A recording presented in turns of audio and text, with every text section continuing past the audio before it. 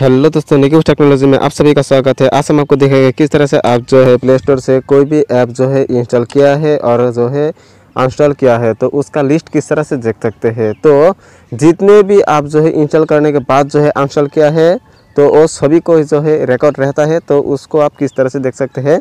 तो इसी को दिखाऊँगा। तो अगर मेरे चैनल को अभी तक आपने सब्सक्राइब नहीं किया तो प्लीज़ मेरे चैनल को सब्सक्राइब कर लीजिए। और नेकी टेक्नोलॉजी बोल के एक फेसबुक पेज है, उसका भी लिंक डिस्क्रिप्शन में देंगे तो उसको भी आप फॉलो कर देना। तो ज़्यादा बताना करते हैं, किस तरह इसको करते हैं, चलिए वीडियो शुरू करते हैं।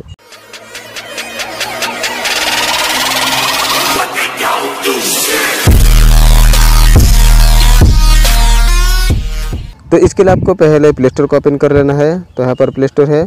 तो प्ले स्टोर को ओपन कर लेने के बाद यहाँ पर आपको प्रोफ़ाइल वाले आइकन में जो है क्लिक कर देना है। तो प्रोफ़ाइल वाले आइकन में क्लिक कर देने के बाद आपको यहाँ पर देखिए मैनेज ऐप्स एंड डिवाइस बोल के लिखा है। तो इसमें क्लिक कर देना है।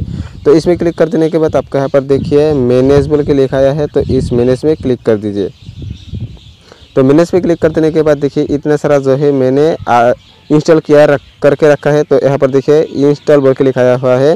तो इसको जो है क्लिक करके जो है, यहाँ पर देखिए नॉट इंस्टॉल बोल के लिखाया है। तो नॉट इंस्टॉल पर क्लिक कर दीजिए। तो नॉट इंस्टॉल पर क्लिक कर देने के बाद है यहाँ पर जितने भी ऐप्स है, वो ऐप्स जो है मैंने इंस्टॉल किया है तो उनके बाद जो है मैं फिर से अनस्टॉल किया है। तो यहाँ पर देखिए गेम्स को भी मैंने इंस्टॉल किया है तो गेम्स पर क्लिक कर देने के बाद जो है यहाँ पर देखिए, यहाँ पर गेम्स इतने सारा डाउनलोड किया था मतलब इंस्टॉल किया था तो उसको भी आप देख सकते हैं। तो इसी को दिखाना चाहता था तो आज के लिए इतना ही। आशा करता हूँ आपकी वीडियो अच्छा लगा मिलते हैं किसी दूसरे अच्छी वीडियो में।